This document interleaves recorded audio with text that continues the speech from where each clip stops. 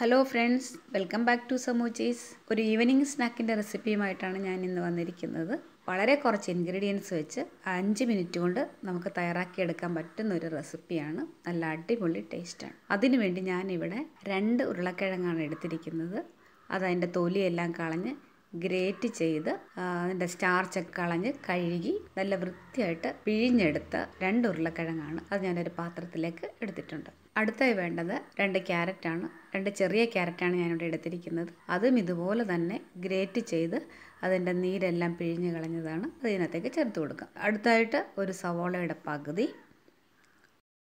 ഒരു ചെറിയ കഷ്ണം ഇഞ്ചി നാല് പച്ചമുളക് ഇതെല്ലാം വളരെ ചെറുതായിട്ട് മുറിച്ചെടുത്തിട്ടുണ്ട്. അത് ഇതിനകത്തേക്ക് ചേർത്ത് കൊടുക്കാം. പിന്നെ കുറച്ച് മല്ലിയില അത് ചേർത്ത് കൊടുക്കാം കേട്ടോ.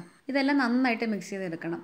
ഞാൻ എടുത്തിരുന്ന പാത്രം ചെറുതായതുകൊണ്ട് ഞാൻ വേറൊരു പാത്രത്തിലേക്ക് ഇത് മാറ്റിയിട്ടുണ്ട്. ഇനി ഇതിലേക്ക് കുറച്ച് മസാലപ്പൊടികൾ ചേർക്കണം. ഒരു പിഞ്ച് മഞ്ഞൾപ്പൊടി ഒന്നര ടീസ്പൂൺ ചില്ലി ഫ്ലേക്സാണ് ഇവിടെ എടുത്തിരിക്കുന്നത്.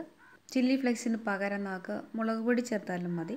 അടുത്തായിട്ട് ഒരു മുട്ട മിക്സ് ചെയ്ത് ഒന്ന് ബൈൻഡ് ചെയ്തെടുക്കണം. അതിനുവേണ്ടി ഇതിലേക്ക് രണ്ട് ടേബിൾ സ്പൂൺ കോൺഫ്ലവറാണ് ചേർത്ത് കൊടുക്കുന്നത്. പിന്നെ ഇതിനാവശ്യമായ ഉപ്പ്. ഇതെല്ലാം നന്നായിട്ട് കുഴച്ചെടുക്കണം. ഒരു കാര്യം പ്രത്യേകം ശ്രദ്ധിക്കണം.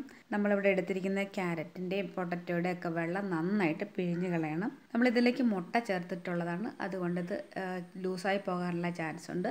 അതുകൊണ്ട് ഇതിന്റെ ഈ എടുത്തിരിക്കുന്ന വെജിറ്റബിൾസിന്റെ എല്ലാം നീര് നന്നായിട്ട് പിഴിഞ്ഞ് കളഞ്ഞിട്ട് വേണം ഇത് കുഴച്ചെടുക്കാനായിട്ട്. ഞാനിതെല്ലാം കുഴച്ചെടുത്തപ്പോൾ ഒത്തിരി ലൂസായിപ്പോയി അതുകൊണ്ട് ഞാൻ ഇതിനകത്തേക്ക് ഒരു ടേബിൾ സ്പൂൺ മൈദ കൂടെ ചേർക്കുവാണ്.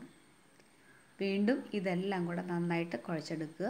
ഞാൻ ഞാനിവിടെ ഇതെല്ലാം നന്നായിട്ട് കുഴച്ചെടുത്തിട്ടുണ്ട്. ഇനി നമുക്ക് സ്നാക്ക് റെഡിയാക്കാം ഫ്രൈ ചെയ്തെടുക്കാനുള്ള എണ്ണ ഇവിടെ ചൂടായിട്ടുണ്ട്. നമുക്ക് അതിലേക്ക് ഇട്ട് കൊടുത്തിട്ട് ഇത് ഫ്രൈ ചെയ്തെടുക്കാം. നമുക്ക് ഇഷ്ടമുള്ള ഏത് ഷേപ്പിൽ വേണമെങ്കിലും എടുക്കാം. ബോൾസ് ആക്കി വേണമെങ്കിൽ അതെടുക്കാം. പടയുടെ ഷേപ്പ് വേണേൽ അത് അങ്ങനെ വേണമെങ്കിലും തയ്യാറാക്കാം. നമ്മൾക്ക് ഏത് രീതിയിലാണോ തയ്യാറാക്കി എടുക്കാൻ പറ്റുന്നത്?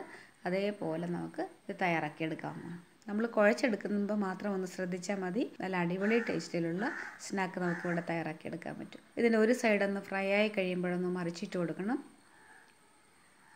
രണ്ട് സൈഡും നന്നായിട്ട് ഫ്രൈ ആയി വരുമ്പോൾ ഇത് എണ്ണയിൽ നിന്ന് കോരിയെടുക്കാം. ഇതേ രീതിയിൽ നമുക്ക് ബാക്കിയുള്ളതും തയ്യാറാക്കാം. നല്ല അടിപൊളി ടേസ്റ്റാണ് കേട്ടോ. നിങ്ങളൊന്ന് തയ്യാറാക്കി നോക്കൂ. ചായ തിളയ്ക്കുന്ന സമയം മാത്രം മതി തയ്യാറാക്കി എടുക്കാനായിട്ട്. അതുപോലെ തന്നെ നമ്മുടെ വീട്ടിലെ ഒരു ഗസ്റ്റൊക്കെ വരുമ്പോഴത്തേനും നമുക്ക് പെട്ടെന്ന് തയ്യാറാക്കി കൊടുക്കാൻ പറ്റിയ ഒരു അടിപൊളി റെസിപ്പിയാണ് നല്ല അടിപൊളി ടേസ്റ്റാണ് കേട്ടോ. ഇതുപോലെ തന്നെ ഞാൻ പൊട്ടറ്റോ മാത്രം വെച്ച് ഇതേ രീതിയിൽ ഗ്രേറ്റ് ചെയ്തിട്ട് ഒരു റെസിപ്പി ഞാൻ ചെയ്തിരുന്നു. നിങ്ങളത് കണ്ടില്ല എങ്കിൽ ഒന്ന് ചെയ്ത് നോക്കുക. അതിന്റെ കൂടെ ഒരു മുട്ടയും ക്യാരറ്റും ഒക്കെ ചേർത്ത് വന്ന് മാത്രം രണ്ടും നല്ല അടിപൊളി ടേസ്റ്റിൽ തയ്യാറാക്കിയെടുക്കാൻ പറ്റുന്ന റെസിപ്പികളാണ്. നിങ്ങൾ കണ്ടു നോക്കിയിട്ട് അഭിപ്രായങ്ങളും നിർദ്ദേശങ്ങളും ഒക്കെ അറിയിക്കുക. വീണ്ടും അടുത്തൊരു പുതിയ റെസിപ്പിയുമായി നമുക്ക് കാണാം. താങ്ക്